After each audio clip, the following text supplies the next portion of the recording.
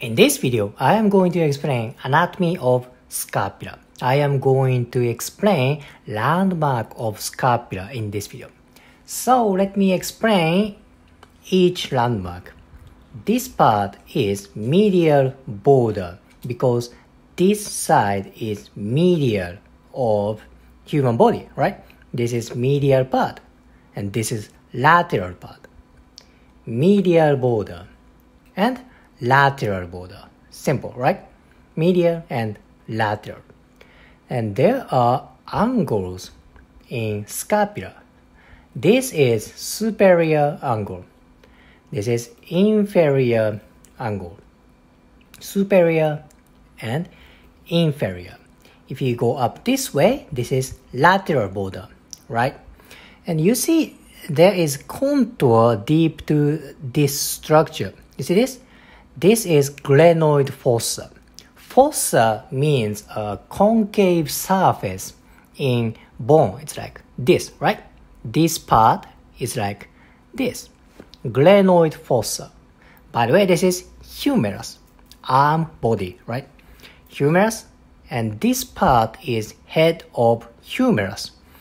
Head of humerus fits into glenoid fossa. Imagine this is glenoid fossa. This is head of humerus. It's like this. Now this surface makes what?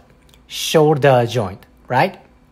This joint is classified as ball and socket joint. This is very movable joint. That is why you can move your shoulder in different directions and range of motion is very very wide. Why? Because of this bony structure. Head of humerus and glenoid fossa. Let's move on to next part. This is spine of scapula. Spine of scapula. And this part the lateral part of spine of scapula, this part is acromion. Okay, acromion, very flat surface, acromion. And what is this surface on back side of scapula? This is infraspinous fossa. Yay, fossa again. What is fossa? It's concave surface of bone, right? Infraspinous fossa. And there is another concave surface. What is this? This is supraspinous fossa. This is obviously concave surface. This is infraspinous fossa. This is supraspinous fossa. Here is how I remember landmark. What is this one? This is spine of scapula, right? infraspinous fossa is below spine of scapula. Infra means below, right? Infraspinous fossa.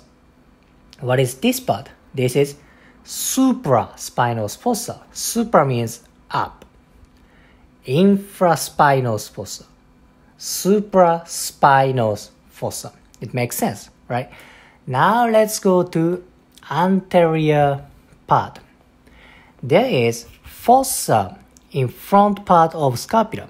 See, this is kind of a concave surface. See that? This contour. Scapula is not complete horizon. It's like this, right?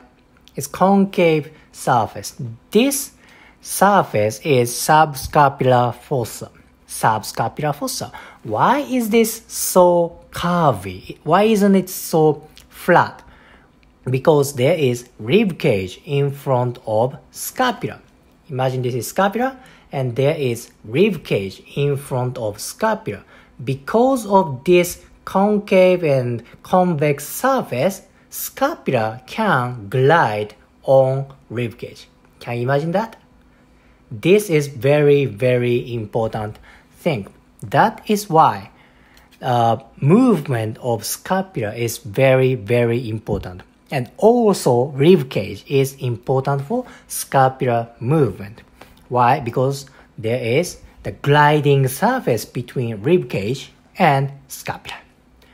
Subscapular fossa. And what is this one. This is coracoid process. Coracoid process. This is very unique bony prominent, right? It's like a random bump of bone. This is also important place because there are many ligaments attaching on coracoid process. Plus, there are three muscles attaching on coracoid process. This is tiny, tiny landmark. However, many ligaments and muscles attaching on coracoid process. You know, scapula is very unique bone. It has unique shape and there is lot of things to remember. But remembering this terminology is very, very important to understand muscle anatomy, nerve anatomy, and mechanics of uh, scapular movement and shoulder movement. I know memorization is very hard at the beginning, but you can uh, build up uh, anatomy knowledge, then it will work and it will help you after years and years. This is fundamental for understanding anatomy. If you liked today's video, please hit the like button, comment and subscribe. See you next video.